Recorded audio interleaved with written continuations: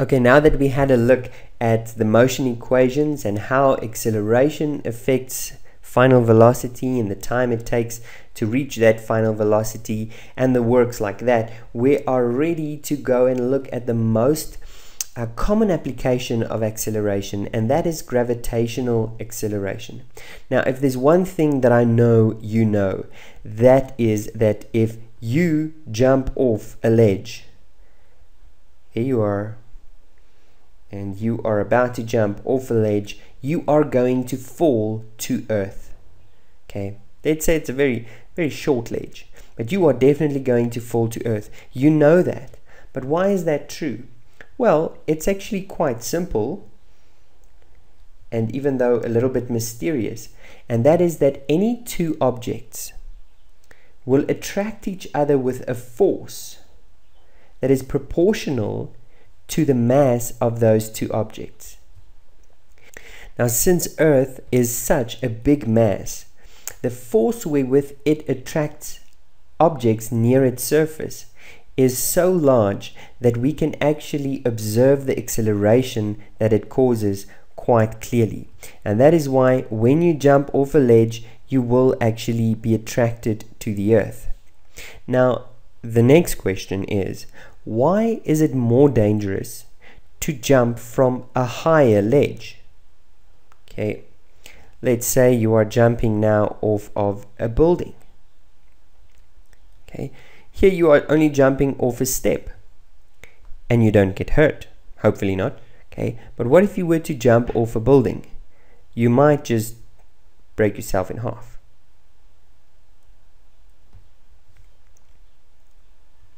Well, the main reason for that is that when you reach the ground jumping off from a small step, you are not traveling that fast.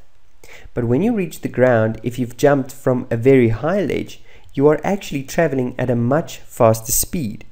And that is what's going to kill you. Now, this difference in velocity can be accredited to gravitational acceleration. You are accelerating the longer you fall, the faster you fall. And I think intuitively you know this that when you fall, the longer you fall, the faster you fall. Now, gravitational acceleration is actually a constant, and we use a small g, g, that's the gravitational acceleration, and its value is 9.8 meters per second squared. Now what that means is that for every second that an object is falling, it is falling at 9.8 meters per second faster. So if I drop an object and it starts, its initial velocity is zero, after one second, its initial velocity will be 9.8 meters per second faster. After another second, it will be another 9.8 meters per second faster. So after two seconds, the velocity will be 19.6 meters per second and so forth. So as you can see, as time goes by, velocity is increasing. Obviously, there will come a time when you are falling so fast that the drag, that's the wind resistance, will start countering the acceleration that you are experiencing. But uh, for the purpose of this course, it is sufficient for you to take this as a constant, that gravity is 9.8 meters per second. Now, if we go have a look at our motion equations, then you will notice that in every equation we always have four parameters. One, two, three, four. One, two, three, four. One, two, three, four. And so forth. Okay. And that means that if I want to calculate one of the four, I need the other three so that I can substitute into my equation. Okay, so if I need in these, we have one, two, delta t and a, we have 4. If I want to calculate delta t, for example, I am going to need a, vi, and x. That means all I need is 3 of the parameters, And then I can use the equation that contains the fourth parameter. So I have delta x, vi, and a.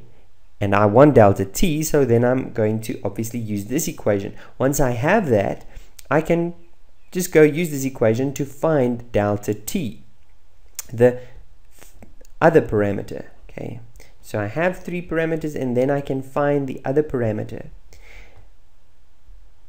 You'll also notice that in total we have five parameters. We have acceleration, we have future velocity, we have initial velocity, we have change in displacement, and we have change in time. Now, with all this in mind, this is what we are going to use when we consider the application of gravitational acceleration.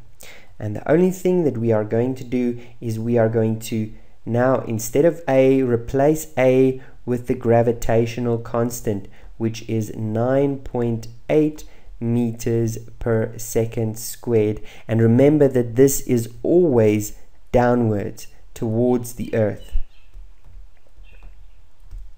The rest of the values can be given to us, and as long as we have any two other values, we can go and calculate any of the other unknown values.